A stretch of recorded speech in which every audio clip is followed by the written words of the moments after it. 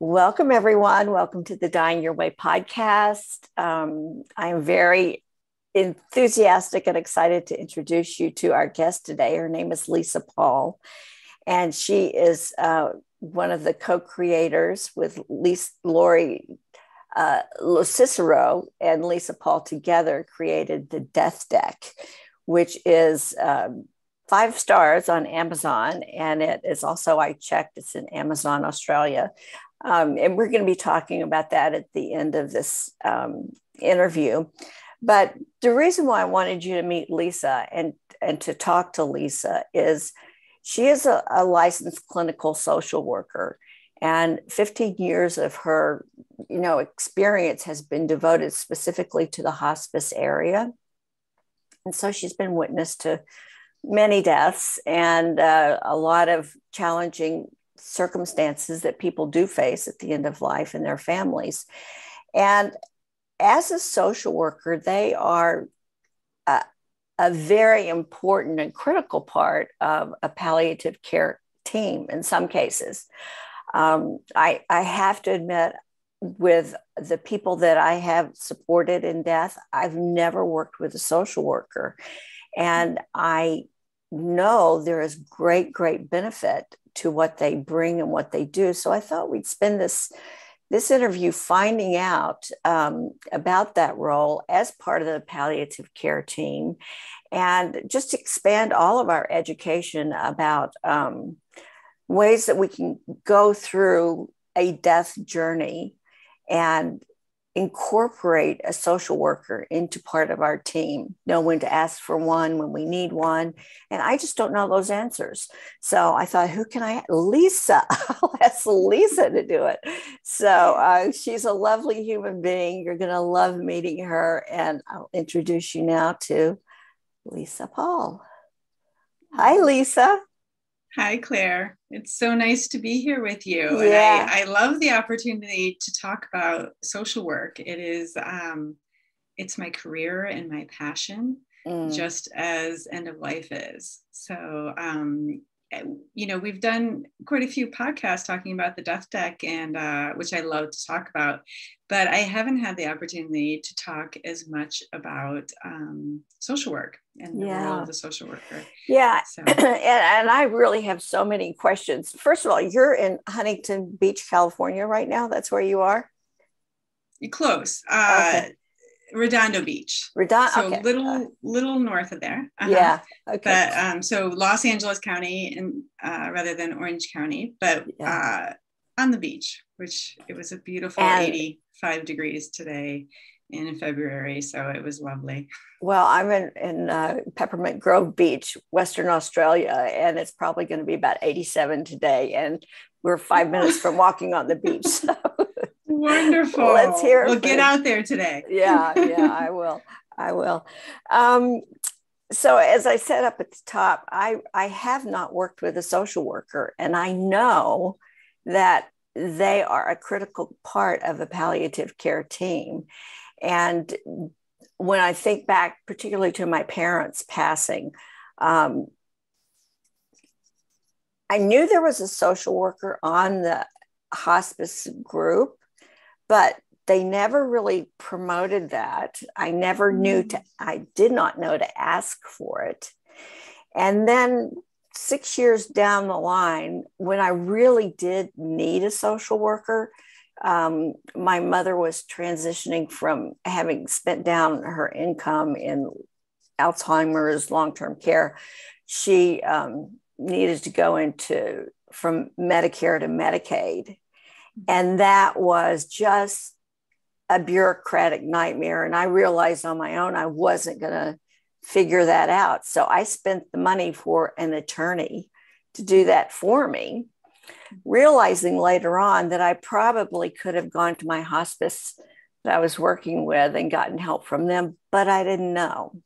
Mm-hmm. You know, so anyway, I'm going to let you talk and just tell us basically what is the role of a social worker in general and what is it in um, a hospice scenario? Sure. So um, I have been a social worker. I got my master's in 1999. I was one of those few lucky people who um, decided I wanted to be a social worker and went straight from undergrad to grad school. And um, man, I there's so many times that I've been so grateful that that was the path that um, just came to be for me. So um, so I've been working as a social worker since 1999 and have worked in quite a few settings. Um, but what I found was with mental health, the role of the social worker with mental health, of course, is is kind of more of uh, a therapy type of um, experience. Uh, people who get their license in social work, at least in the United States, can then practice as a therapist. Um, so it's a it's a counselor. It not only a counselor, a, a counselor, mm-hmm. but it's a is that part of a social worker degree is counseling. It's all social work.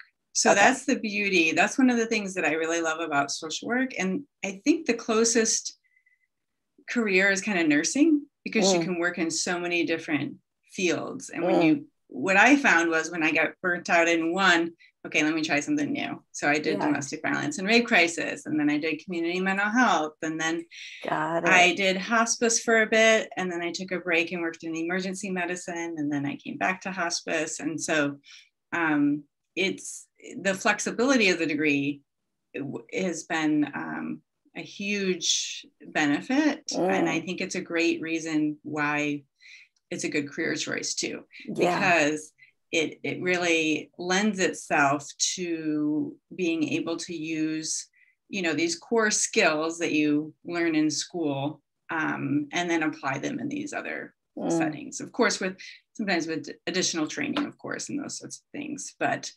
um, so my role in the hospice team is primarily to provide emotional support and resources for the family those are the two big items that I'm responsible for. Mm. Um, so some of the resources might be if they if the family um, does not have mortuary arrangements yet, it's my job to talk with them about that and talk to them about their options and kind of help that conversation along, which is a delicate one. Um, and um, some of the other resources are caregiving agencies, um, you know, in California, we have in-home supportive services so that if someone is on Medi-Cal or Medicaid, they can qualify to get some in-home help covered. Mm. Um, mm. Now, it's a challenge in all of these factors, but um, so there's programs like that that we are uh, that we have knowledge about that we're talking to families about, and potentially veteran benefits and yeah um, and we also work with the patient and family to look at where they are now and what care they may need so you ah. know helping prepare for because we get you know there's some hospice patients who come on that are uh, living independently yeah and and then it, it becomes what are we going to do when you are not able to be independent. Um, so it, the hospice I currently work at, I love. It is, um, we have about a 90 to 100 patients, which I feel like is a really nice amount because we're big enough to absorb um, staff being out and that sort of thing, but we're small enough to not not feel like a number. Um, yeah, yeah and what I really like about I, have worked there six years at this mm. particular hospice, and what I really like is that the culture of this hospice is the nurses and social workers do joint visits, um, especially the oh, first. Oh, that's visit. great. That's so see, we that's come out with the nurse, meet the family. Yeah. Um, and honestly, I I don't give them an option. I say, I'm the social worker that's going to sign to your case. I'm coming out to meet you. And then um, you know, sometimes people say, oh, we don't really need anything else. Um, but usually, once you get your foot in the door, people are welcome to have the support. So, so when you, I'm jumping in here, but when mm-hmm, you go yeah. in for that initial meeting, Um, and I, I, it's great to hear that you just automatically go out with the, I guess, the case manager, the lead yes. nurse on that. Um, what what are you doing when you walk through that door, assessing the situation and how you might help? I'm just curious. Mm-hmm. So, w- one of the beautiful things about hospice and um, particularly home hospice, which mm. uh, most of our team is is home. We have some facilities um, patients, but most of most of the patients are in their own home, which is That's lovely great. to That's me. great. Yes, and so um, we walk in, and you know, it's always an honor and a privilege to be in someone's home, and I always you know take a moment to remember that because i'm stepping into their space right and when you go into someone's home they can't really they can't cover up what's happening. And yeah. so you see um, you know you see the grandkids uh, all their toys. You see pictures of the patient when they're young which i love. Yeah. And and so the first is kind of a glance to see um, you know to assess the situation and figure out who lives there what kind of support does this person have and so i'm i'm assessing um, you know how much support do they have how open is this family to talking about illness and death mm.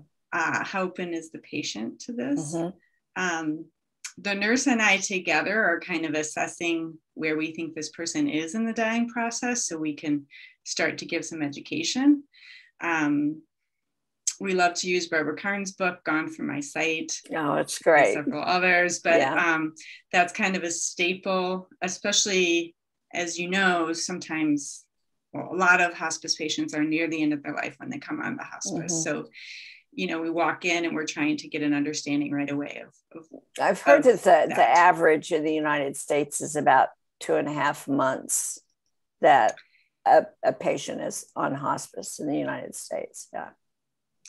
Yes. And also, I think it's between 40 and 50% that only live two weeks or less. So, mm. you know, some people are around for a year and that helps boost that two and a half months. And then there's a there's a lot of people who come on right at the end. Um, so I'm a, I'm I'm establishing a relationship with the family, um, explaining hospice services. So the nurse is kind of taking vitals and um, starting to look at medications, and I'm uh, gathering more history from the family and um, beginning to look at what their caregiving plans are. Quick question. So, sure. have they already been um, given as a referral and accepted to hospice when you and the nurse go in there, or are you doing that in that visit? So, typically, um,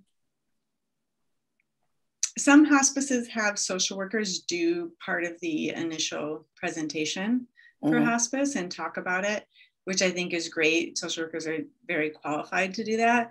Um, our particular hospice, uh, we have admission nurses that are, you know, trained for those conversations, and then the social worker comes with the nurse once the patient comes onto hospice. Mm-hmm. And so in the States, you're supposed to assess within five days the social worker and the chaplain. Um, and we always try to do it the very next day or day two because of how quickly people can decline, sure, sure, how many yeah. resources they may need.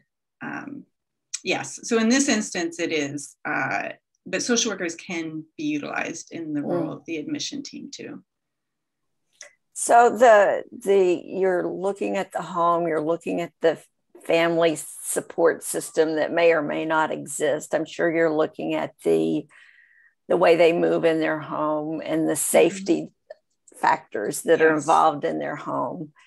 Um, would you be the one that would call in, say, an occupational therapist or um, somebody to help them navigate in their home better? Or yes, we um, so palliative care and and and hospice, at least in in the states are are different um, in terms of what they what is covered and what is provided. Mm-hmm. So um, in hospice, typically you can have a physical therapist or occupational therapist, but usually the limits, the visits are pretty limited. Yeah. And it's teaching the family and teaching right. the patient like safe transfer and those right. sorts of things, yeah. um, which we definitely we we utilize our the physical therapists um, mm-hmm. to, to do that and help us. Our nurses are pretty great at that too. So um, Oh, the training so that I got from family. hospice as a caregiver was fabulous. It was, yeah, I couldn't have done it without them. Um, I lost my train of thought. So I was going to ask the other things we're, question. We're, we're helping. oh, I'm sure it's going to come back. Um, you know, we're helping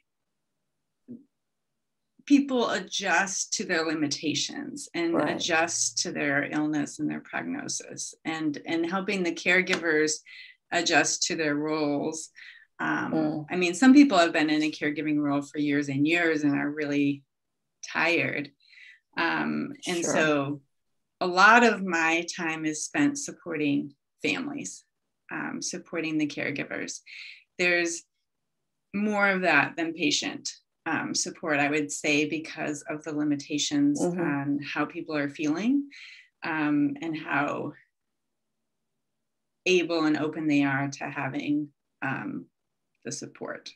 Would you say that most of those at home patients are there and using hospice so they can actually die at home instead of at a facility? Yes. Yes. Mm. Yes, I would say that. And and and occasionally we do have patients that want to be home but not die there. Yeah. And and so that is kind of that's another time in which the social worker is is in that role of okay we need to now find you know a boarding care or inpatient hospice if that's appropriate mm-hmm. um, and try to navigate that because some people are worried about how their loved one will handle them dying in the home. Um, but not not that many people. Usually, I found mm-hmm. that when when there's young kids in the home, sometimes that's. You know, Lisa, as long as you've been doing this, I you've probably seen the changes that have happened to the Medicare criteria in in the years because when my parent my mother died in 2010 and my father died in 2007 so from 2005 to late in 2010 i was a primary caregiver for both of my parents. My father was on hospice for two and a half years. He went on and off of it but you know they were a constant presence for two and a half years my mother was on hospice for six years. Oh my god. I mean what what a difference that made to my experience as a caregiver to have that kind of um, just extra set of eyes and ears and knowledge that i mean i didn't know anything at that point about taking care of anybody you know? My kids yeah. and me and that was it. So it was um, yeah i couldn't have done it without hospice but at that time I was lucky enough that there was not that six month, you know, arbitrary. I don't know why they came up with that, that arbitrary, you know, you've got to be six months from death to uh, even well, get this benefit. What's, what's interesting, did, did your parents have Alzheimer's? Is that? My mother had Alzheimer's. She had started out with a failure to thrive uh-huh. diagnosis. And then as the disease progressed, it went to Alzheimer's, but that was her first diagnosis. And I really don't think that, you know, that was being misused at all, you know, mm-hmm. as, as mm-hmm. far as Medicare, because, you know, the, um, I, my mother and I both just had such great benefit from it. Yeah. Well, now they call it severe calorie malnutrition. So there's okay. still workarounds. Yeah. there's still workarounds. And I I've had patients on for four years. So um, it, it does still happen. You have, you know, the hospice has to carefully document um, signs of decline. Mm-hmm. There needs to be um, uh, it, it, there just needs to be a lot of diligence um, if keeping someone on that long. But the the six months or less is the criteria to come on, and it is you know with heart disease and dementia illnesses, um, neurological disease. It's so difficult to predict.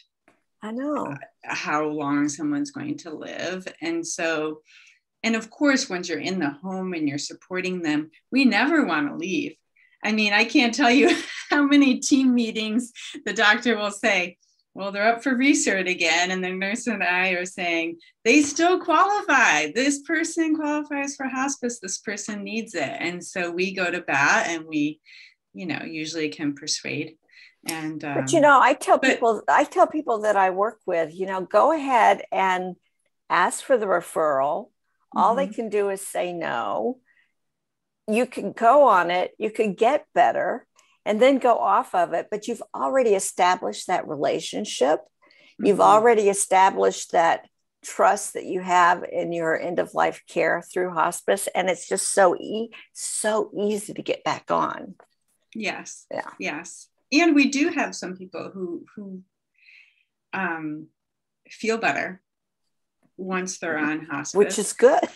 Yes i mean they they're getting more support. The family is getting more support. There's a nurse checking on them once twice three times a week um, managing the symptoms. And so some people especially people who've um, you know kind of been faltering in and out of the hospital the fatigue of hospital and doctor's visits is just getting them down. Oh, yeah. If they can just stay home for a few months and have the medical team come to them and really address their symptoms sometimes they really are feeling better. And then and then the family says maybe we don't need hospice you know and then and then that's a different yeah. um, then, then yes but i agree with you. I but they but they probably end up coming back on hospice after a period of time. And like i say that that relationship and that um, paperwork that needs to be done. It's already there. It's just, you know, renewing and refreshing. So, um, when the pandemic hit, how did that affect the people that you were serving?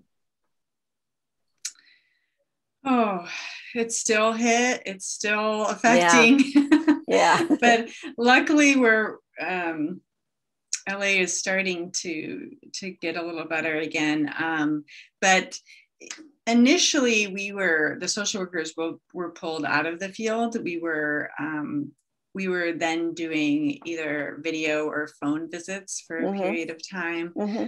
Um, How was that? You know, some of the families really loved it um, because they were able to kind of have more one-on-one conversations so i could call the daughter and um, and she could not be with her mom and we had a little more privacy. So for mm-hmm. some families it worked out really well. Yeah. Uh, for others you know we weren't there when they came onto hospice. We weren't there when they were dying. It's much harder to establish a relationship mm. with somebody over the phone. Yeah so, um, sure so when we were given the green light in the summertime, um, then I I was happy to go back out in the field. Although now we keep going back and forth with the level of PPE we have to wear, and um, you know some families still prefer uh, extra people not coming into the home. Yeah. So, um, but the beauty of hospice and palliative care is that it is it is patient and family driven. Mm-hmm. So really that is that is what you should be looking for when you are looking right. at a provider, a team of people is what are the goals you know for the patient what's the goal for the family and then we're there to support those goals and so some people really like having the social work and chaplain support and um, i've had some that have me that want me to come every week and then I have some that say we'll call when we need something. So it really depends on, or or I'll say well, I'll come about once a month. And then the nurse calls me and says, I really need help with this daughter. Can you come with me tomorrow when I meet with the daughter? and see, so, that's what I love. You're working together as a team, mm-hmm. you yes. know, and there's that mutual respect for the different things that you bring to the situation. Um, so is the um, case manager the nurse? Is that or the doctor? Who is the lead of that palliative care team? Um, it's it's really the case manager, the nurse, mm-hmm. the RN case manager that's going into the home. That's mm-hmm. the point person, and that's the person mm-hmm. taking the lead. That's the person that's going to see the patient the most. Um, and uh, and then the other disciplines are kind of supplementary. That well, that's not true. We're all integral, but that's right. the person that's going to put the eyes and ears, you know, going to be with the patient and family the most often is going to reach out for help um, yeah. as they need it and kind of keep updating us. The physician, at least in um, in my experience, the physicians don't make a lot of visits in hospice. You know, it's primarily the nurses who are mm-hmm. reporting mm-hmm. back to the physician. Um, if families request it, then um, then of course but typically uh, it's driven by the nurses who are really highly skilled. Yeah. So you you touched on earlier that um, it, there are a lot of people that actually don't have family, don't have support. And do you play a larger role in that case to kind of be that surrogate support system for them? And are you yes. there when they die? Those those are the harder the harder patients. Um, harder emotionally we, or the harder yes yeah. yes yes all of it because yeah. they need they need more and um and so what we try to do is is always really explore what that support system is and could be mm-hmm. you know okay you do have a cousin where's the cousin? Let's get the cousin here, you know, because we don't want, as the hospice team, to be the only support for this person as they're dying. Right. Uh, someone's going to have to manage things. And so, but when there is limited support, then that usually does mean that the social worker and, and sometimes chaplain are increasing our supportive visits. Um, we are continuing to try to rally some support for that person, but also, you know, talk with them you need to make your funeral arrangements now. Uh, we need to get that handled so we know who to call. Um, and, you know, some people are more open to those conversations than others. Sometimes people really refuse to talk about next steps, which um, is hard. And so well, you know it's, it's, it's, denial you know i mean it's, it's denial. we, we're all subject to it. Oh yes. Yeah. yes. I, I i also do this. Um and i think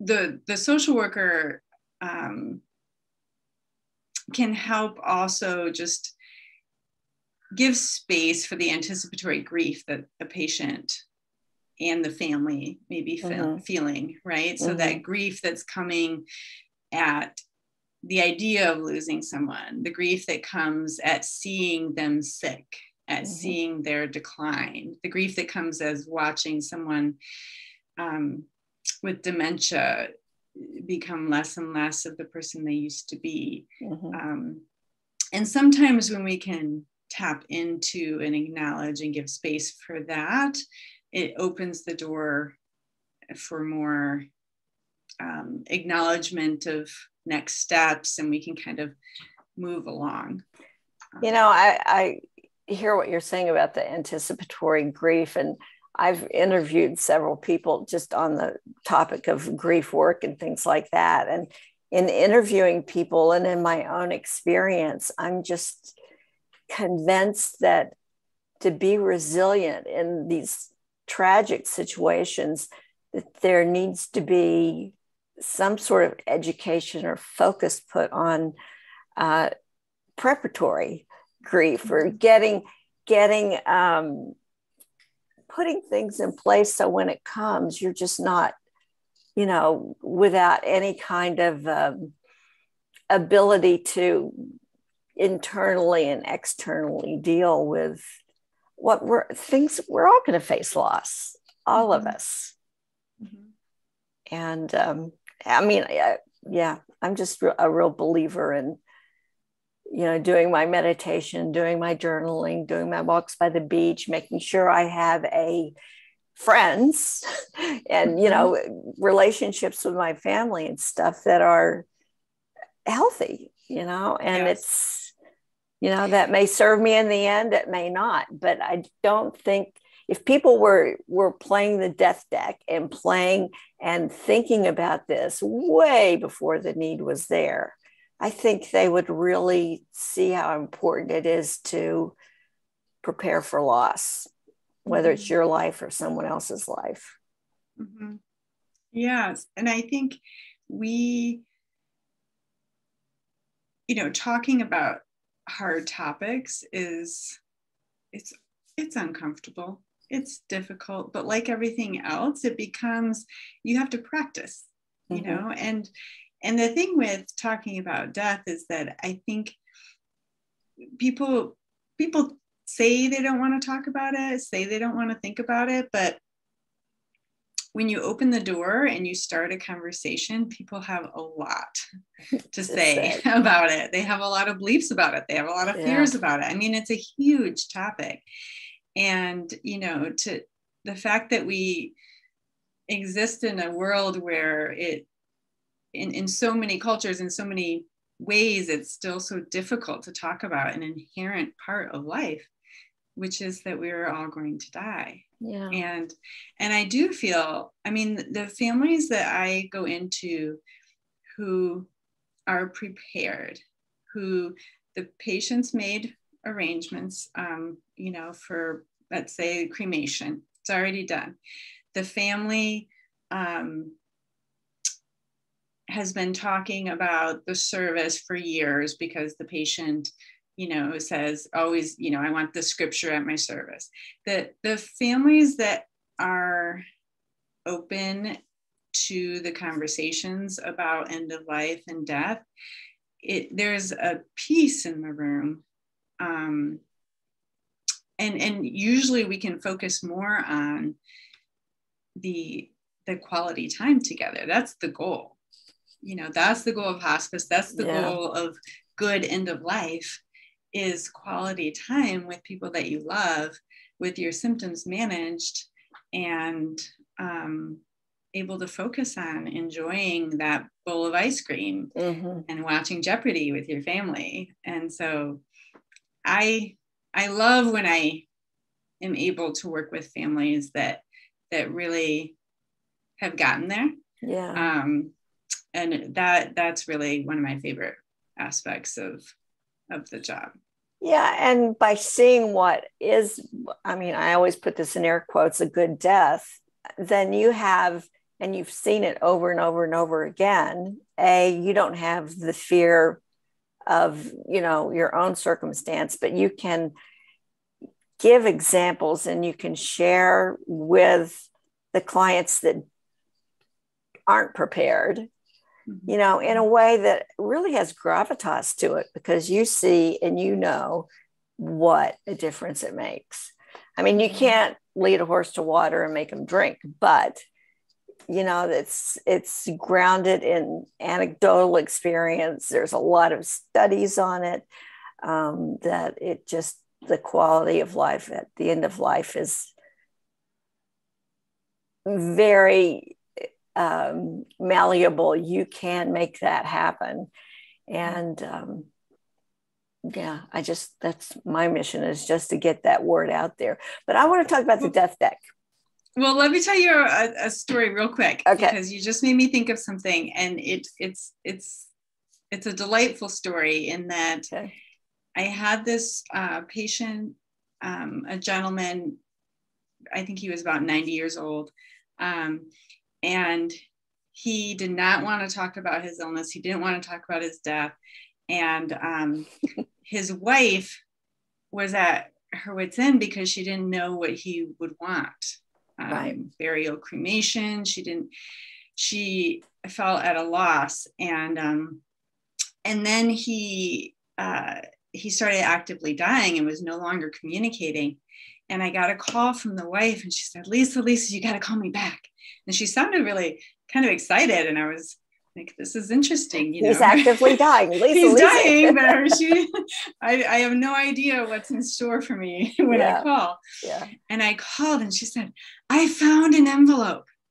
And he had an envelope that said, When I die, and he not only had already made arrangements for a burial, which thankfully she found this, um, he also had listed the accounts and his retirement, the attorneys. He had it all for her. And she was so excited and so relieved. And told me that she had been laying by his side, kissing his hand, thanking him as he lay dying because she Aww. thought she was going to have this big old mess on her hand and he didn't he did not do that he he did prepare.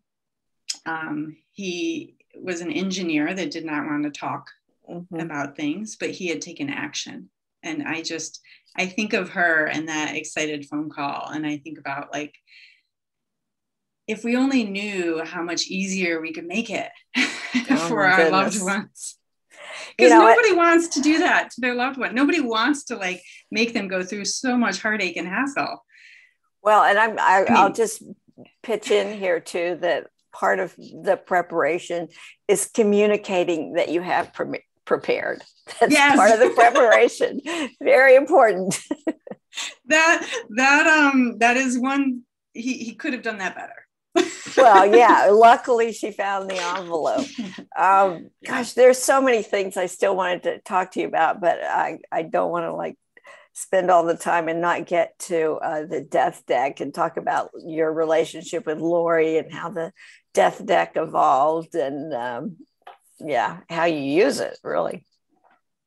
Well, yeah. So, I mean, it, the death deck came from the ideas that we're talking about the idea that we are um, that by having conversations throughout our lives about death we'll get better at it and we'll be able to um, be more prepared take action and it originated um, from a relationship with lori LoCicero her husband was on hospice for pancreatic cancer and i was the social a, worker a young husband a very young husband, 44. Yeah. And so um, they had two small children. And uh, and so I came into the home and, and provided support to Lori. Um, he was young, and so young people, it takes quite a while to die. Um, uh, he had, as I said, pancreatic cancer, and so we spent a lot of time together. There were young kids. She she welcomed the support. She wanted all the support, and um, and so after he died, she asked if I could continue coming for grief support. And um, fortunately, the hospice I worked at was flexible, and we kind of were able to do what we felt was appropriate. And so her and I met in her backyard week after week um, for grief support. Um, she also had her kids in grief support groups and all these other things. So she was doing all this stuff.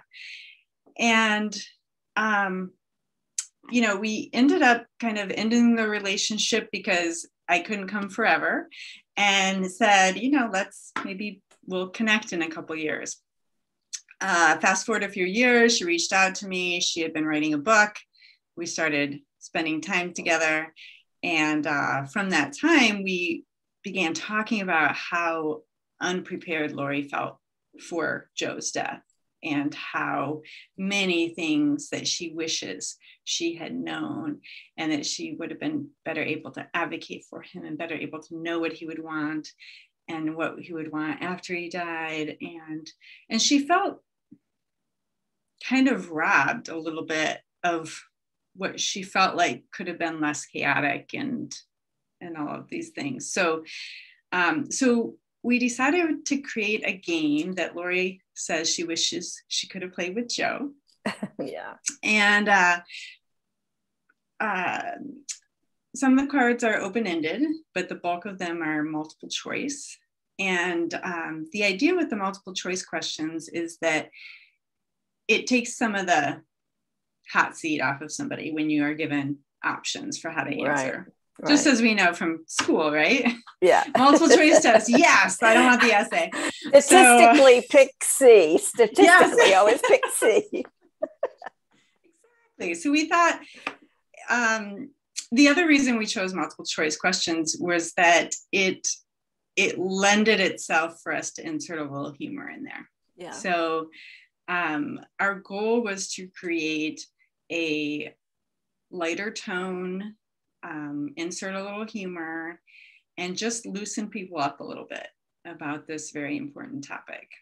Um, and one of the things I really like uh, to one of the ways I really like to play is guessing each other's answers. I think that, you know, if you partner up, you and Terry partner up and guess each other's answers. Oh, that's the, great. I the conversation. Um, I mean, first of all, we've learned that a lot of friends know each other better than their spouses. Mm-hmm.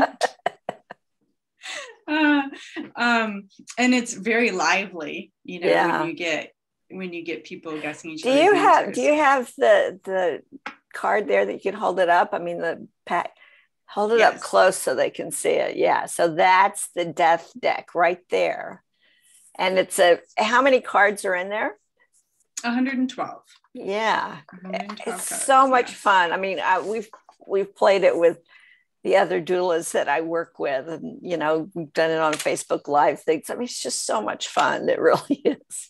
Oh, I love to hear that. Well, you know, we um we love doulas first of mm-hmm. all. Um, yes. My hospice even has uh we have a doula program now, which I is so exciting. Wonderful. So Wonderful. we're we are able to bring in doulas for our families.